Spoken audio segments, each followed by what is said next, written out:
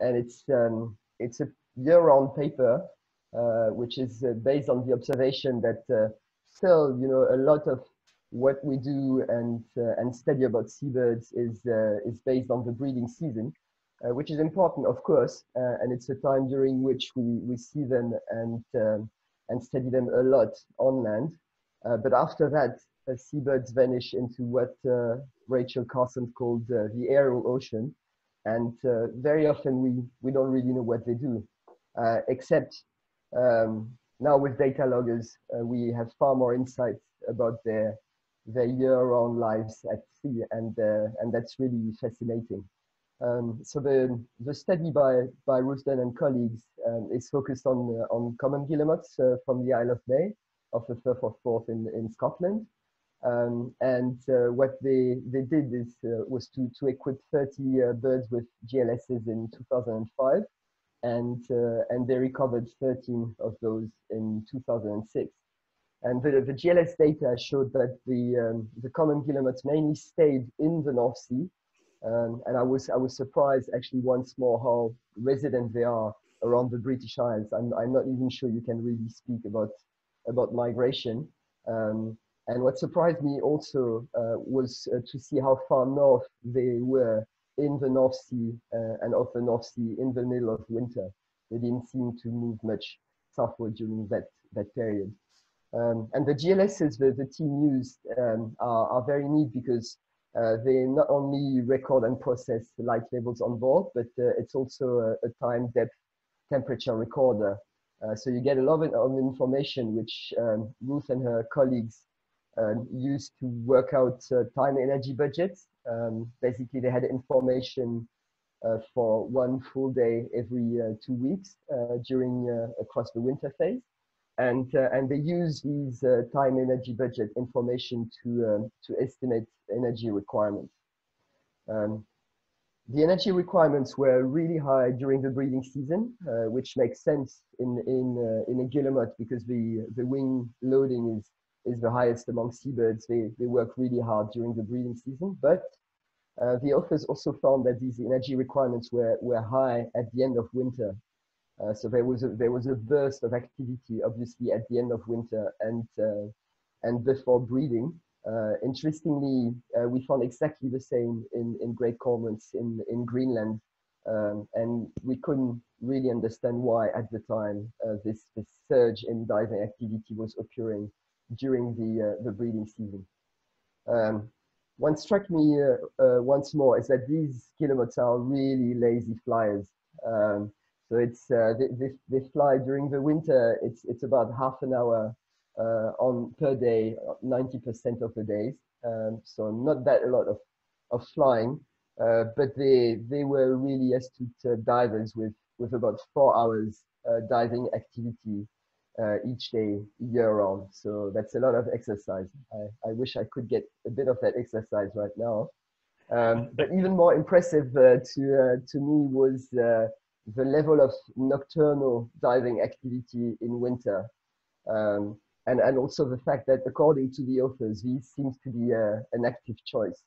Um, I was really fascinated by that and, and we'll discuss it in a minute. And, and this is when I, I came up with the idea of of uh, having this introduction with night swimming uh, at the beginning of the, of the session. So um, I, I, have two questions for, for Ruth.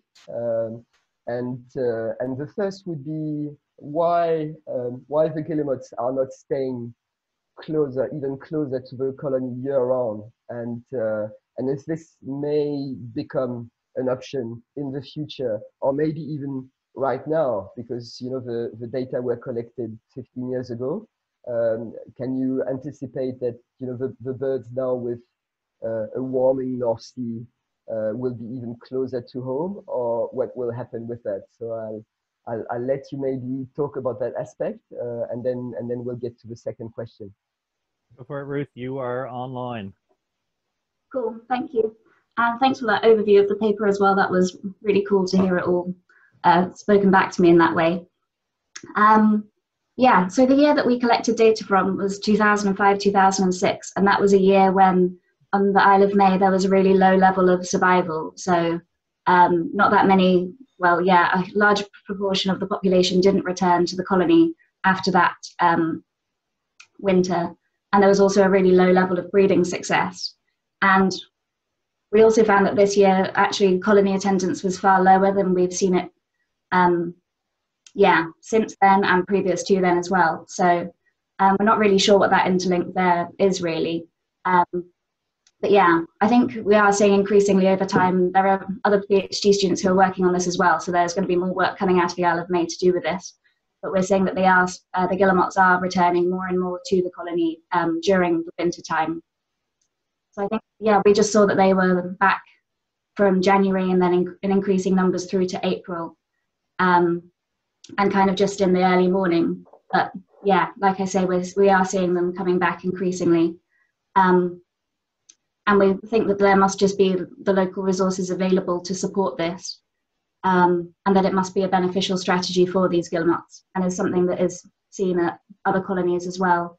Um, I was speaking to some colleagues at uh, the University of Glasgow and they were saying that, that some of the colonies of common guillemots that they're studying that they're also seeing them increasingly returning to the colony during the non-breeding period. So yeah, it is a really interesting behaviour. Yeah, I, I, found this quite quite striking, and and uh, of course the other point um, I, I, wanted to to discuss was uh, this um, foraging activity in the dark. Um, I, I, I find it really um, fascinating, and uh, I I wonder whether you you have any idea how they how they do that, um, and and and just a comment maybe before you you reply. Uh, there's there's new evidence um, now that uh, seabirds, especially cormorants, um, uh, use acoustic clues uh, to uh, to locate prey uh, underwater. And I, I was wondering whether in, in guillemots this had ever been considered. Yeah, sure. Um, yeah, so we found that there was um, a couple of peaks in diving behavior throughout the annual cycle. And we'd predicted that if it was um, that guillemots were being constrained to dive at nighttime, then these peaks in um, dive activity generally during the day would also coincide with peaks in nocturnal foraging, meaning that birds were driven to kind of use this nocturnal time. But instead, we found that these peaks were mismatched. And that's why we kind of hypothesized that instead the birds were making this choice to forage um, during the night rather than just, yeah, being forced to. Um, and it is interesting, yeah, because we do call guillemots visual foragers, and that's how we think they do catch the majority of their prey. Um, but there have been an increasing number of studies which have found similar results to us that they're diving when there's really low um, light levels. And we don't know whether that's still, yeah, a visual thing, like you say, that they're using moonlight and starlight. We weren't able to look at that within the um, within this piece of work because of the uh, scheduling yeah, the regime of our sampling, we recorded, like you said, um, data every 15 or 30 days, which meant that we couldn't really look at lunar phases and that kind of thing, which could be quite cool to do in the future. Um, so yeah, I'm really not sure, like you say, whether there could be, um, whether they're using some visual cues or acoustics, that kind of thing. I think that would be really interesting to look into, but I'm afraid I can't, yeah, expand on that really at the moment. Yeah, what, what I saw in, in the paper is that you, you said that um, in, in winter they seem to switch uh, to uh, feed on, on uh, bottom dwelling fish um, in, instead of more pelagic uh, sand, sand eels, for, for instance. Um, and, uh, and these bottom dwelling fish, uh, they make much more noise than, than actually small pelagic fish. and this, this would be coherent uh, with with a strategy whereby you know uh, birds would use acoustic clues in the dark uh, to to try and get and get fish. Uh, but again, you know that's it's very um, it's very speculative. Um, so um, um, let's see what Grant has to say and uh, and what sort of questions come from the audience. Thanks, David. Yeah, that's uh, that's pretty cool. How are you doing, Ruth? You, I'm well, thank you. Yeah, how are you? surviving lockdown? Yeah, yeah, I'm doing well. Good, glad to hear. Um, my, I only had one sort of brief question about uh, whether or not you saw any relationship between, say, say daily colony activity uh, or daily colony attendance and energy expenditure. So, if they were burning more calories at sea, for example, are they coming back to the colony more frequently uh, during the day, or are they um, are they uh, is there no difference? Um, yeah, I suppose there's a trade-off in terms of the colony attendants because when they're at the colony, they're engaging in this central place foraging stuff where they're having to make their commuting trips out to sea. Um, but there are also the bonuses of being at the colony in terms of thermoregulation. So they've only got the air temperature deal to deal with as opposed to um, water. And they've also, guillemots obviously breed in such um, compact environments that they've also got the thermoregulation from those that they're standing next to um, as a benefit as well. But yeah, and so I suppose the energy budgets that we compiled as well were just kind of looking at these different activities, so um, and some different generic costs that we assign to those. Um, but it would be cool to yeah look into that a little bit more, the actual energetic cost of being at the colony as opposed to being at sea, and yeah the trade-off between yeah like I say that central place foraging and then the benefits of being at the colony as well. Yeah. Mm-hmm. I'd I'd be very curious to see if there was something like um, any relationships between energy expenditure and and prey uh, prey types. You know, if they're eating very good, you know, if they're eating good quality food, and they're able to come back to the colony uh, more frequently, whether or not chicks are surviving uh, surviving better. And um, you know, there's I I feel like there's a whole there's a whole series of uh, of studies that that could come out of work like this that that would be totally fascinating for conservation purposes, anyways, for sure, and uh, even just academically, um, how different prey items can can impact um, population level biology. Yeah, yeah. Sophie Bennett is um, a second year PhD student at the UK Centre for Ecology and Hydrology, and she's going to be looking at some of this stuff within her PhD. So she's got cameras on ledgers and also TDRs and things, and she's going to be looking at how individuals are utilizing different strategies and I think she's going to be thinking about the energetics behind that as well. So that'll be really cool to see, hopefully coming out soon. Cool.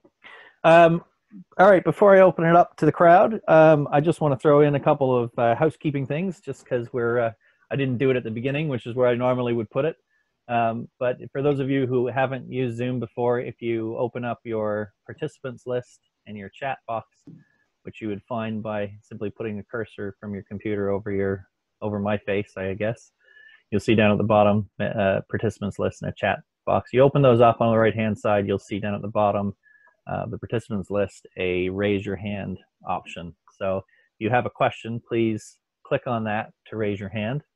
Um, and if you can keep your questions moderately brief and relatively light, and we'll uh, this should help smooth things along relatively easily. The other um, the other thing is that I'm recording this session, so if um, you don't want to be recorded, um, then don't raise your hand or uh, turn on your camera. And um, or if you if you do have an issue with it, please let me know afterwards and we can discuss. Um, in the meantime, I've got one question that's come in from the chat from Adrian, and he asks, "Did the the nighttime activity increase with moon illumination?" Um, yeah, so this was something that one of our reviewers asked about as well, and is something that, yeah, it would be fascinating to know more about. And I've still got a little bit of time left in my PhD, so maybe I can explore this more then. Um, but yes, David mentioned earlier on that we only uh, collected data. Um, the yeah, the behavioural data was only collected every two weeks or every month. Um, and because we put the loggers on at a similar time, yeah, the, the data kind of came in these funny steps, which meant that we weren't able to look at um, moonlight as much as we would have liked to.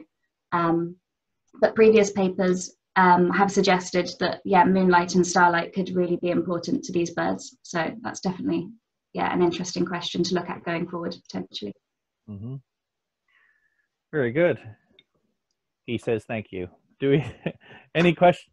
any questions from the crowd? Do we have? Uh, please use the raise your hand option, or if you have your camera on, you can wave frantically at the camera, and I might be able to see you. And and in the meantime, uh, Ruth. Uh, so so I guess there has been such uh, deployments over other winters of, of GLSs. What what would be the the norm? Well, the normal return rate uh, for GLSs in in less testing winters for the birds. Um, I'm not sure actually. I should really know that, and I will have some stuff out soon because I'm currently working on a seven-year GLS data set, and I know that the return rates are higher, but I can't tell you what they are off the top of my head. Okay, uh, because probably what uh, you know people will be asking is is how this return rate compares uh, with um, overwinter mortality rates um, of anequid birds, for for instance. Um, yeah, I've just received um, knowledge that we get about seventy percent of them back. Okay, okay, so normally. Yeah. Thank you, Sophie. and handy to have one of them around. I know, yeah.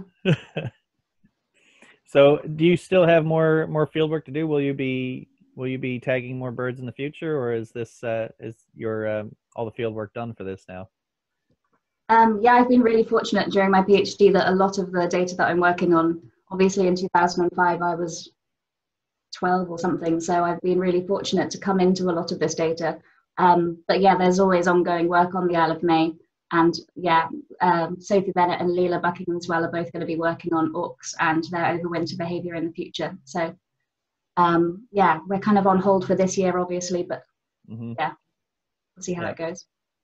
Those poor birds left left alone with no tags on them. No, they'll be missing us, I'm sure. All right, we've got a question from Morgan. Let's see. Uh, all right, you are unmuted, Morgan. Go for it. Hi, thanks. I'm Morgan Brown from University of Amsterdam.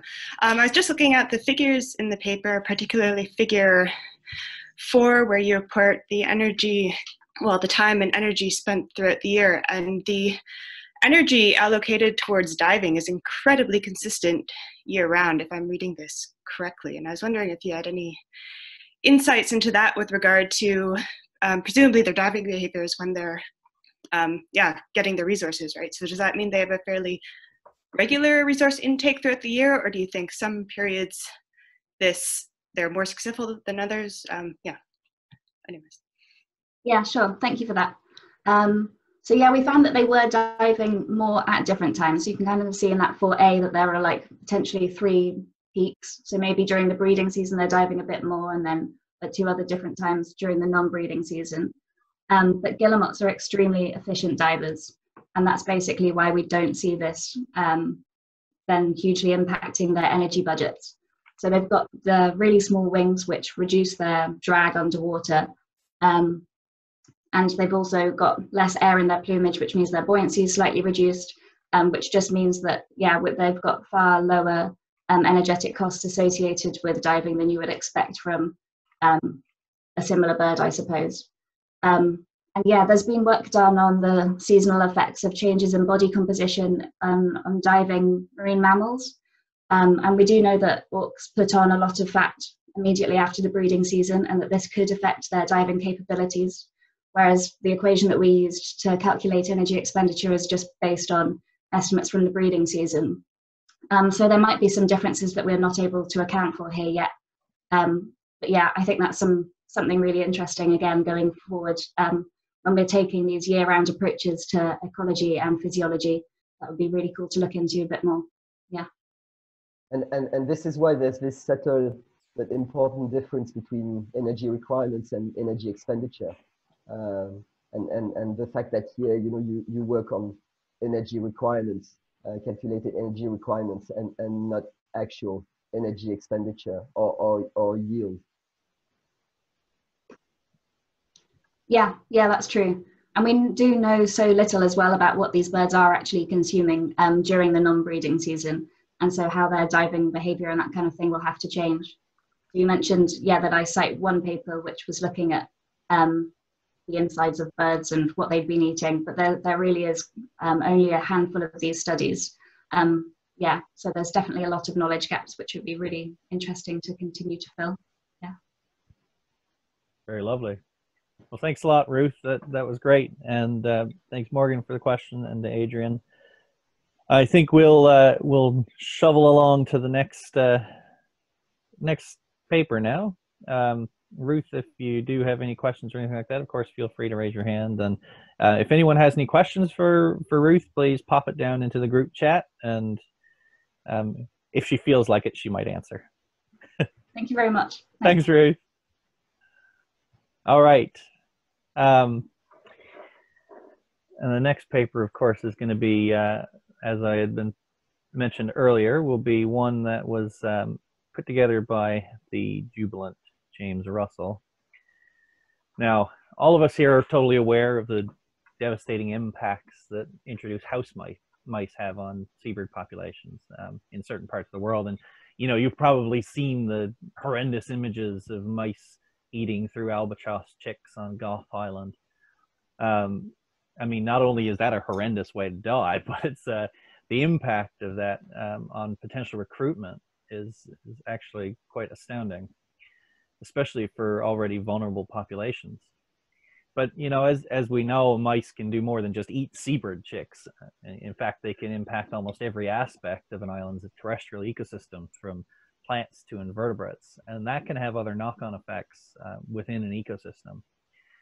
And also, because mice are omnivorous, uh, they're able to take advantage of these different types of food sources. So in on seabird islands where they've been introduced, this sort of begs the question: so how much of a mouse's diet is actually made up of seabirds? Uh, so are they are they eating other things, and how much of those things are being are being eaten?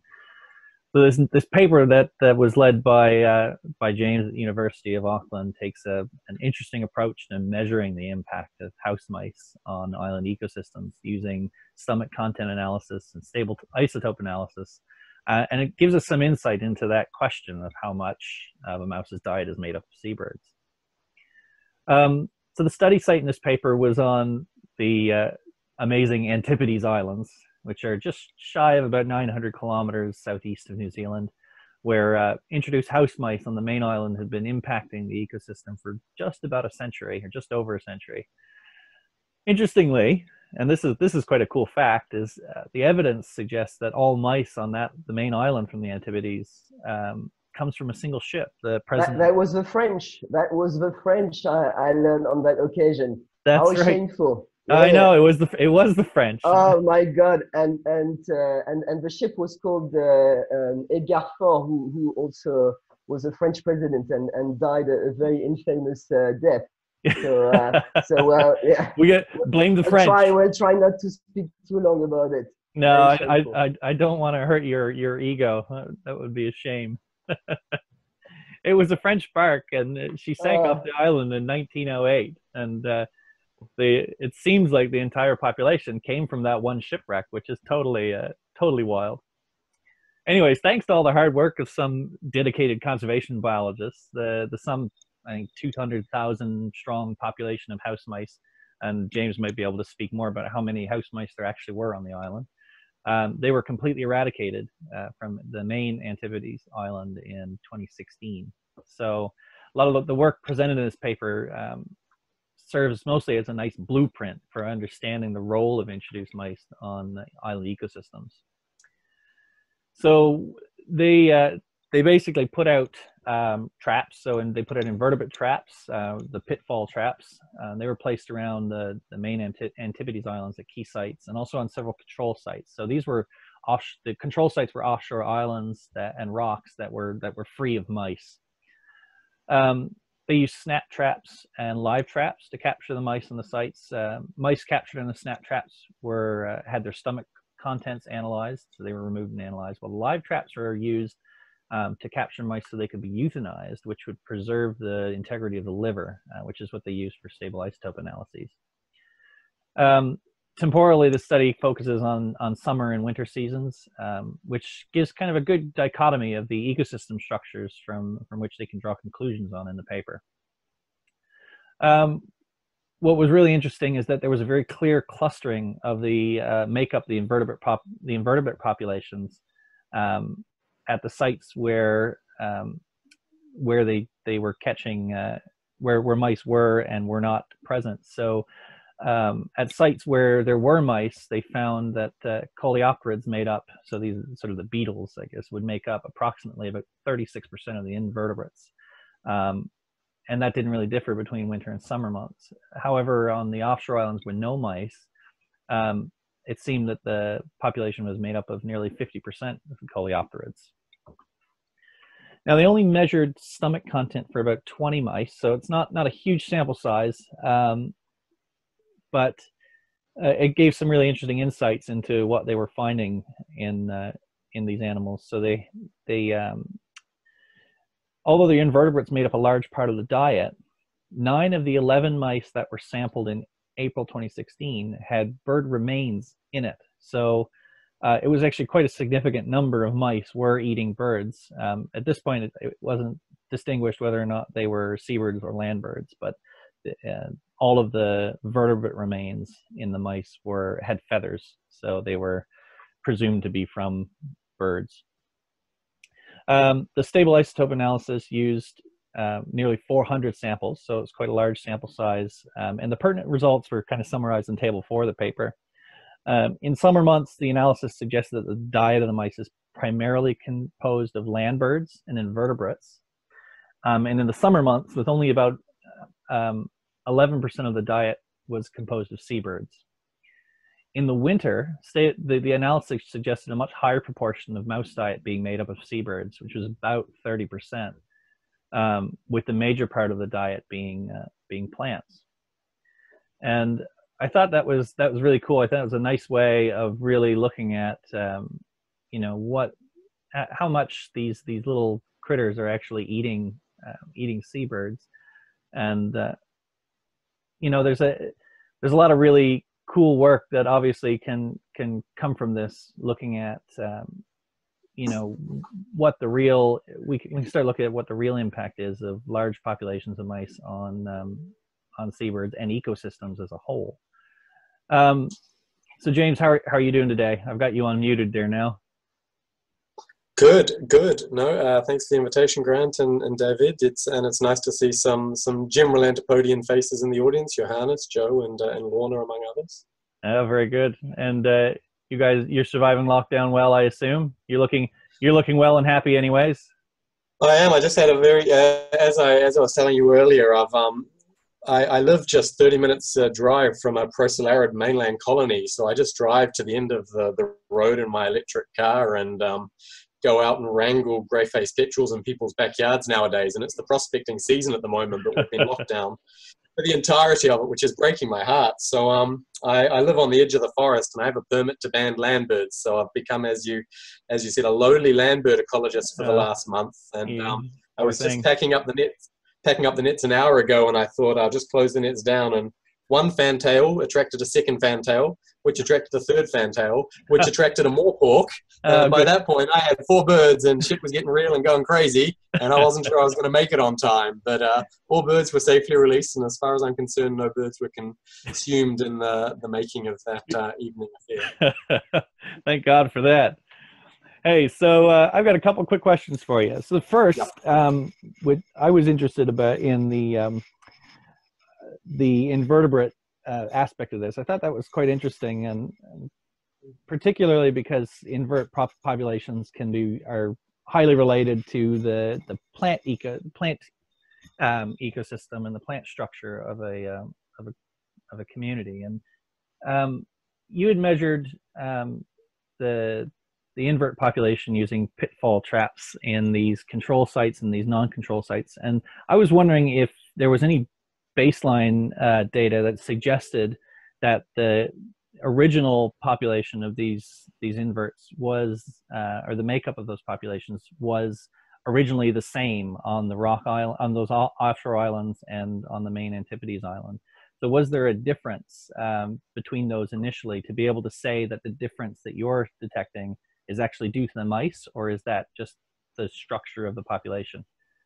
Yeah, that's a, that's a really fair question. Uh, in particular, those offshore rock stacks are only in the order of a, a hectare or two, so they're they're much smaller. But uh, the Antipodes is a really simplified ecosystem. It's basically just um, tussock grassland, and that's it, and the odd bit of fern and, and tiny, tiny shrubbery.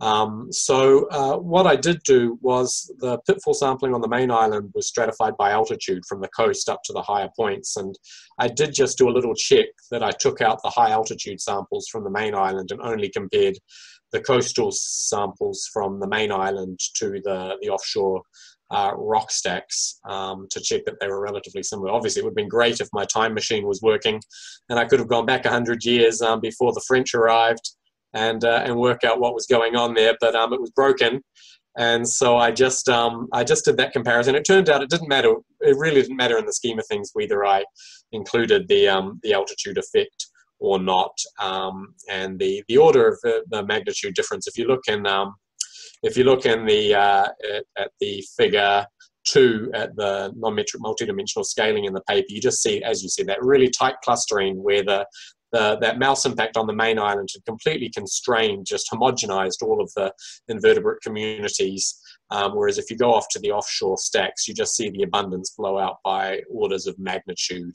And um, there's, if anything, you'd have expected it to go the other way, that the offshore stacks would have been more depauperate just because of their exposure and, and tinier sizes. So, um, yeah, there's always going to be a bit of variation, and a bit of an unanswered question there. But again, it's like a classic statistical question when the magnitude of the effect is that strong. It's um, you don't need much sample size to know that there's something significant going on. Mm-hmm.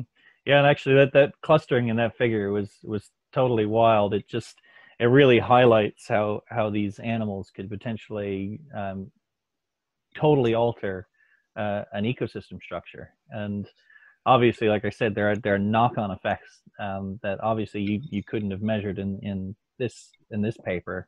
Um, but you know that's that's stuff that would be really interesting to apply across various uh, various islands. Like if you went to gough island you know what's the what's the ecosystem make up there now compared to uh, you know compared to what you have on the Antipodes. And of course, now that the uh, the mice have been eradicated, there'll be uh, there'll be a whole bunch of interesting things to come from that and how the, the ecosystem may recover. Do you have, do you have any idea of that? Like, do you have any predictions as to how you think the the uh, invertebrate population is gonna is going to come back around on on the island? You know, the, the go slow that academic publishing is actually means by the time this paper had come out, it had already been four years after the eradication, and we'd already seen most of these effects anyway. When the um, when the team went back, uh, there's a Graham Elliott and Kath Walker doing their um, their Antipodean wandering albatross long-term study there went back one year later or the summer after and immediately they noticed that um, flies had just absolutely exploded on the main island, um, and so that was one impact they one effect they noticed. And then the the uh, eradication confirmation team went back two years later in 2018 winter because that's our rule of thumb. Just wait two years, and it's pretty obvious if you failed mm. or or not. And um, they got a really gorgeous shot of a, an Antipodes pipit hopping around with a caterpillar, giant caterpillar in its mouth, and we'd never even seen a caterpillar on the island. So this um this pipit just you could almost, you could see it was smiling. It just had this grin on its face, like "Here's my tasty caterpillar treat." so um yeah, those changes have happened um really rapidly and, and really really strongly, and and we've also got some good um land bird monitoring data using um, some pretty robust distance sampling methods that have shown the, the pipits, the snipe, and the, the parakeets. There's only four native land birds on the island have just um, exploded in numbers afterwards. So um, I mean, it's just it's just the consistent story the world over, isn't it? Ma- remove pest mammals, um, ecosystem explodes in, in joyous positive impacts immediately afterwards. Immediately. Mm-hmm. Yeah, that's super cool. Um, and, and you know, sort of um, I guess along those lines, I'm curious. Like, so in your paper, you, you describe how they're um, they're um, eating more, what seems to be more seabirds um, into winter months, and I'm wondering what what seabirds are around in the winter months for them to eat, and how are they catching them? It seems like that's that's sort of like not really the breeding season, which was when I would expect there to them to be taking chicks. So the um, this is the typical story with island eradications that the monitoring you do after the fact is a reflection of what um, what pre-data you have, and the pre-data you have comes down to the serendipity of what scientists had happened to go out. And um, the reason I got to go out was just by coincidence that um, Richard Cuthbert was at uh, RSPB at the time, working the Gough problem with the mice, and and his partner Erica Sommer was working um, leading the uh, NIWA um, uh, the uh, White-chinned petrel monitoring program down there, and they thought somebody should have a peek on the mice there to see what was going on. And my lucky number came up, so I got a berth on the boat to do that. So um, I was uh, I was down there looking at the the mice, and that's uh, when we started to get a picture of what was going on on the ecosystem. So grey petrels are the only winter breeding species there. What I suspect is happening is we don't actually have strong evidence that the mice were directly uh, preying upon the seabirds on that system. We suspect they're getting into um, the storm petrels because they probably do that everywhere, just given the small size of those. The adults are vulnerable as well as the the chicks and the eggs. Um, but uh, I suspect come winter, what we're actually just seeing is scavenging of um, the, the, dead chicks and leftovers from uh, the end of the, the summer months, really. I think it's primarily a scavenging um, exercise there. Mm-hmm. That's, that's really interesting. And so the, the, um, the stable isotopes that you're measuring in the liver, uh, what's the sort of turnover time of uh, in, in the liver? So is it, the signal that you're getting is that reflective of what they've e- eaten within the last say 10 days? Or is that something that's reflective of something they've eaten in the last you know three months it's a, it's a, it's a bit of a mix over uh, over the last um, over the last recent while that they've eaten. So uh, yeah, it's not exactly able to be pinned down to that was just their, their last meal exactly. So um, so we, yeah, we're building up that picture there. We also collected bone and muscle um, if we wanted to consider looking at the different temporal turnovers of that. But because we had such large sample size and were limited by budget, we only pursued the the liver at the time. So uh, yeah, that was how that uh, settled down. Mm-hmm. Um, and the last question I've got for you is about sort of in table four, you show that there's there's actually it seems to be the standard deviations in some of these estimates are relatively high. And is that an, is that a reflection of individual variation in the animals, or is this or is there something else? Um, yeah, certainly from the work we've done um, with invasive rats elsewhere, um, although uh, as a population they're you know broadly omnivorous, any they can eat anything. As individuals, they're actually highly specific, like um, like all of us under our different lockdowns. There's probably a particular food we're craving because that's our thing, and mice are exactly like that too. And that started to shine through in that um that stomach sampling, in particular. You know, the mice living in the, the outskirts of the penguin colony were really keying in on um, penguin remains and and the the uh, intima fauna associated with that. So yeah, you do get that high uh, level of individual specialization. I suspect that's playing a role in um, in blowing out the standard deviations. But of course, we're always just limited by the um, the, the types of models we fit in these uh, stable isotope mixing models and, and how they come out in the mix. So we, we just saw that subtle change um, clear but subtle nonetheless, like you uh, emphasized from summer to winter of that change in diet, really emphasizing the, the fact that like all seabird islands in the colder regions, they're driven by those summer trophic fountains, which um, fuel the ecosystem over a few months while breeding of seabirds is going crazy. Yeah. Awesome. Thanks a lot, James.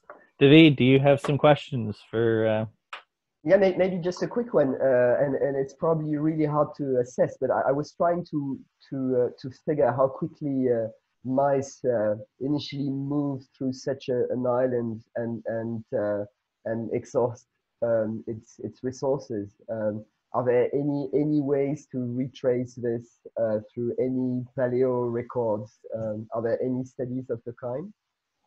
The, the speed, with regards to the speed of invasion of um, rats across an island, the best example we have is an island called Big South Cape off the southern end of New Zealand, and it's a thousand hectares. And um, rats arrived, and within two years, uh, one, one, a very small number of rats, perhaps just a pregnant female, landed on that island. Within two years, they were across the entirety of that island at low density, and by the end of the third year, they were at high density. So it essentially takes um, uh, two to three years for a, a, thousand hectare island to be fully invaded. And similarly, we actually did an experimental invasion. My um, PhD student went to a, a, small six hectare island and we cleared the mice off it and purposely put a male and female back. And it took them just six months to, uh, to uh, invade that six hectare island. So, with regards to that um, invasion of uh, Antipodes Island in real time, um, it would have happened within uh, two years or three years. And that's why we have that rule of thumb following eradications that you could invest lots of money and um, do complex rapid eradication assessments models, which is another area of work I do. Say if you wanted to confirm your eradication within four weeks or eight weeks or six months, but um, the cheapest approach is just to do nothing, and then after two years, um, the mice will be everywhere again, and you will notice them just by staying in the hut, or or they will be confirmed eradicated. Um, I, the other interesting question, what this paper was really trying to grapple at, was this this wider question around why are these mice um, starting to turn on seabirds now for the first time? And we first observed that, and it's still the most horrific on Gough Island, where just about every species is impacted, and then it's been observed on Marion. Um, it's now also happening in the tropics on Midway Atoll, and um, Wieteke is working at uh, University of uh, Northern Illinois with Holly Jones on that for her um, graduate research, which is really exciting. We're building in the, um, the Antipodes Island stable isotope data for a larger global study on, on that. So watch her for some really exciting results there. And uh, my colleague at TAAF in um, the Îles Éparses has also seen on Tromelin that the, the mice are turning onto the red-footed boobies there as well. Um, but what's interesting is that it's not just the chicks that are gone for. So on Midway Atoll, it's um, actually the time of year that the mice turn onto the seabirds is during the um, egg incubation phase. And so it's the adult albatross that are being attacked. And when the chicks hatch a few months later, the mice are no longer feeding on the seabirds. So there's this wider hypothesis we're starting to form, which is that it's about a kind of nutrient diet limitation factor that means at a particular time of year, the mice might switch on to, to these seabirds. So uh, I think what uh, what's happening is that Gough Island, uh, I know the mice have been there, and Marion, the mice have been there for hundreds, multiple hundreds of years, two, three hundred years. On Antipodes Island, they'd only been there for a hundred years. So I suspect um, they arrive, and as, as we showed in our paper at the, the so-called early stage in the first century, they just work their way through the tastiest um, uh, invertebrates. And then once they've eaten most of them, they move to the less tasty ones. And then when they run out of invertebrates or what other preferred food resources they are, they then switch on to the seabirds more out of desperation um, because that's a much more behaviorally risky um, food uh, item to be to be taking on. That's what I think is happening there. So in terms of how long does it take for the mice to switch on to the seabirds, I think that's a case of um, burning out the entire ecosystem. Mm. really interesting. You know, I have I have to share this little little factoid that uh, that Jan shared in the group chat, just in case somebody anybody here is not following along. Uh, Jan says rats begin breeding as soon as five weeks of age and continue until the age of two. Uh, females are fertile approximately every three weeks, and during that time, they've been known to mate up to 500 times in six hours. Resulting pregnancy usually lasts about three weeks, and the litter size typically ranges from six to 20 babies that is absolutely mind bending. And I reckon if that's that must be somewhat similar with rat with uh, with mice. Hey, James. Yeah, absolutely, absolutely. Um, in in these colder areas, they just breed over the summer period, and it drops down to only one or two percent breeding activity over winter. But uh, the area we're doing a lot of work in now is the tropics, where um, these animals are just breeding all year round. So those those numbers are absolutely um, on the mark every three weeks. Another litter gets pumped out, and it's just happening again um, and again and again and again. Jeez. All right, folks. Let's uh, let's open it up to questions from the uh, from the audience, and we've got uh, Lorna's put put something on her on her screen there. So let me unmute you. There you go. Go for it, Lorna. Hi, James. Nice to see you. Hey, Lorna. Um, a bit off topic, but I was curious did they notice any effect of uh, the increased flies, uh, fly population? I'm just thinking that I think I, I heard repeatedly in hot summers down at Taiaroa Head for the royal albatross, for the chicks, they get fly blown in hot summers. I don't know if that's an issue on the Antipodes at all, but I'm not. I'm not aware of bouncing back off an ecosystem into like extreme It's probably just one season, but yeah, thank you. Yeah, I'm, uh, I'm not aware of any um, any flow-on effects from those changes in the invertebrates on, on things such as that. Obviously, as we're, we're probably all sadly aware, the Antipodean wandering albatross has gone through about a 50% population crash over the last two decades because um, they are incredibly vulnerable to the longline fisheries that are roaming the uh, the uh, high seas uh, in the Pacific, and so that's the, the primary threat to, to those guys. Um, one of the sad instances where the, the eradication isn't going to benefit them so much. Yeah. Oh, very cool. Thanks, Lorna. Thank you. All right. Do we have any more questions from the crowd? Not seeing any hands up. David, do you have any more comments or questions for James over here? Well, rather about uh, the the well, you talked uh, uh, a bit uh, about it previously, but the the next uh, developments for um, monitoring after eradication on on that island and island group. Um, so I I firmly adhere to a conservation biology worldview, which is the the problem's been solved for me to, to go back there. There's an interesting debate that, that, that kind of trickles along in the literature, which is the, the role of monitoring in, in eradications, because um, obviously monitoring generates scientific information, which is great if you're curious um, for your own sake in that, but it also comes at a cost, which might uh, prevent you being able to work on other projects. So uh, uh, the the Antipodean Wandering Albatross team goes back every year, and they were involved with the eradication, so they keep collecting data. But um, Antipodes Island is, is a very remote place, and it costs twelve thousand US one way uh, to get there. So uh, what we're focusing on now is we use that to leverage up to Auckland Island, which is uh, forty eight thousand uh, hectares, and we've spent the last um, three years now there scoping that for the eradication of uh, pigs and cats and mice, and we're just finishing up that project now, and we've worked out that um, the eradication of those three pest species from that island is feasible um, for a price tag of about 60 million um, US dollars. Unfortunately, the, the economic impacts of COVID 19 are probably going to derail any immediate action there, but I would urge um, anyone that's interested in subantarctic uh, Seabird Islands that there's a special issue of the journal Notornis, the New Zealand Journal of Ornithology, just um, online this month, uh, uh, which Colin Miskelly organised called Lost Gold, and it's about the the birds of uh, Auckland Island. And really, there previous to that, there had not been a, a single volume on the the birds of Auckland Island. So there's a great compilation of papers there on the seabirds and the land birds, and and I um contributed a meager chapter on the impacts of mammals on the, the birds of those islands. So that's that's the next um, stage. That's the next thing in our sites in New Zealand. That's the last uh, sub-Antarctic island we need to clear of invasive mammals, and that would open a huge amount of habitat for uh, for our uh, breeding seabirds down there.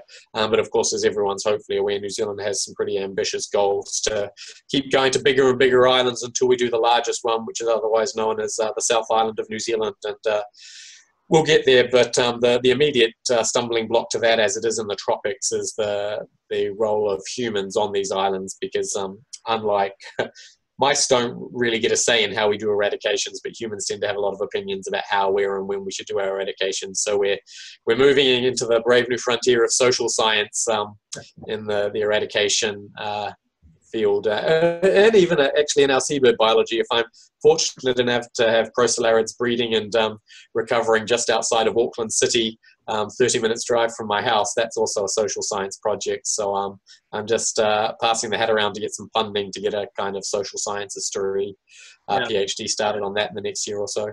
Yeah, that's that's actually a really really interesting point, and this may this may seem like a kind of a silly comment or question, but you know, obviously in the South Island, there's a huge pushback against uh, eradicating some some of the animals. You know, hunters, for example, are really uh, anti-eradication, and uh, and certainly cat owners. There's a lot of cats in the South Island, and people don't necessarily want to get rid of them. And I know even on Stewart Island, they had a, a hard time uh, convincing people that cats were a nuisance. So do you see any pushback at all from the public on doing eradications on uh, on these offshore subantarctic islands? You know, are are there people who are you know the particularly the anti 1080 folks? Are they really pushing back against uh, against this in any way?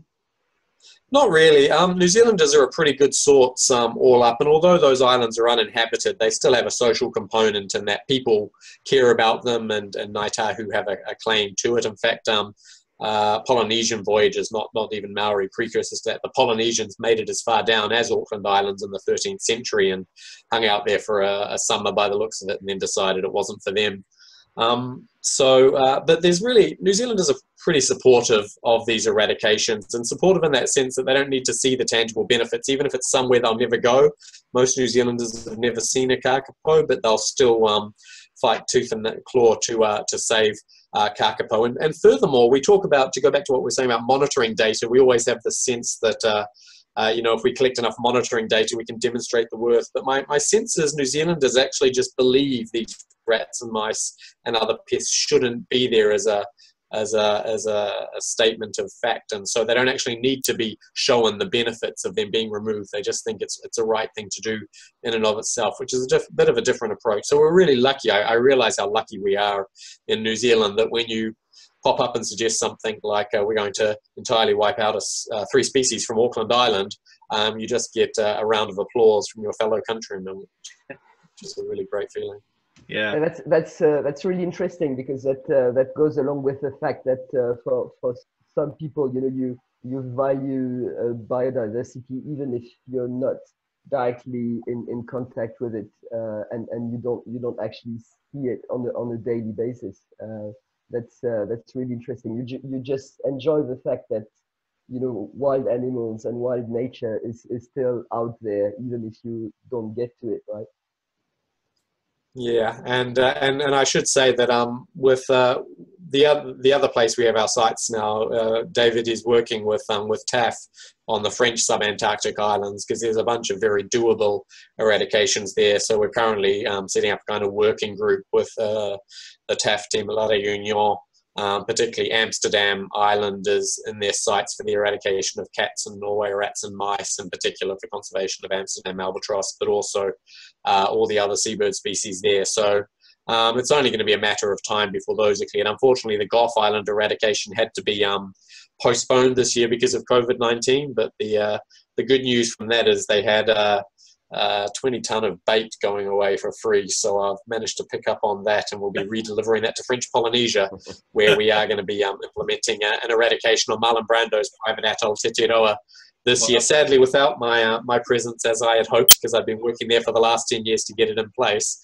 Um, but um, we'll be working through a, now a two-year stage process to eliminate the, the ship rats and the Polynesian rats from from that island as well. So there's just um, it's a it's an exciting time to be in um, predator management and, and to see the benefits for, for seabird conservation and then the, the opportunities for land bird reintroductions around the world that that creates. Yeah, that's yeah, that's that's uh, quite a score you got there, mate. hey, so uh, do we have any more questions from the audience while we're here? Um, we're getting pretty close to the time, so if anyone has any quick questions, please feel free to raise their hands. Um, and if not, James, I do. Uh, I do want to say I do love those. Uh, are they taxidermied seabirds in the background? Am I seeing a puffin, a razorbill, and a, what looks, or is that a? I don't know, maybe not a razorbill, but the uh, and the other one's a little blue penguin. Is that right? You've got it. Oh, Give the man a prize. I'll tell you. the um, for the the, the little penguin has a bit of an elongated neck. The taxidermist took a bit of liberty um, with it. Um, for those uh, that care, it's the, the white flipped variety off the, the Canterbury coast uh, there in a, a razorbill and winter plumage, and uh, a Faroes Island uh, puffin that I believe somebody uh, enjoyed the insides of, and, and I inherited the outsides of. Uh, can I bring them closer to the camera? Oh, yeah, yeah. Here is the white flipped penguin. You can oh. see the defining characteristic is the white flipper. Oh, beautiful. Yeah.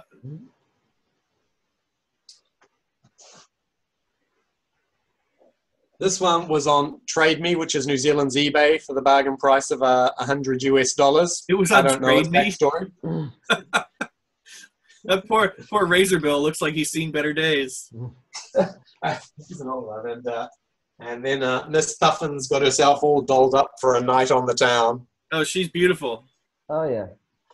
She's gorgeous, and uh, yeah, just had to get that one through biosecurity. Actually, it's a funny story for those of you familiar with New Zealand biosecurity. They were so uh, hung up on the three dead mice I was bringing in from the Faroe Islands. The mice on the Faroe Islands are fascinating because the Vikings introduced them a thousand years ago and have radiated to have subspecies status. So they're one of the precursors to a, a native uh, introduced species. Um, and uh, they got so hung up on them. Like, what are these? mice. Yeah, but what are they? mice. Yeah, but what are they? They're mice. that they overlooked the fact that there was a puffin in my bag. So I got a rather terse phone call the following day from the Ministry of Biosecurity saying, um, "We believe you smuggled a, a, puffin into the country." I said, "No, no, it was on my card," and they insisted on taking uh, Miss Puffin back and fumigating her. So uh, she got a, an all-expenses paid uh, trip to the fumigation chamber and, and came back to me. Beautiful. Have you tried shining a, an infra black light on its bill yet? I haven't actually. Um, I should get that. We use that. We've got the infrared. Uh, yeah, we've got those lights because we use them for the biomarker uptake to see um, that 100% of the mice and rats are taking the bait. So yeah, I'll have to have to do that. Yeah, we're we're expecting that, and then a, a picture online at some point. I will do when I get into the lab to get the UV light back. Yeah.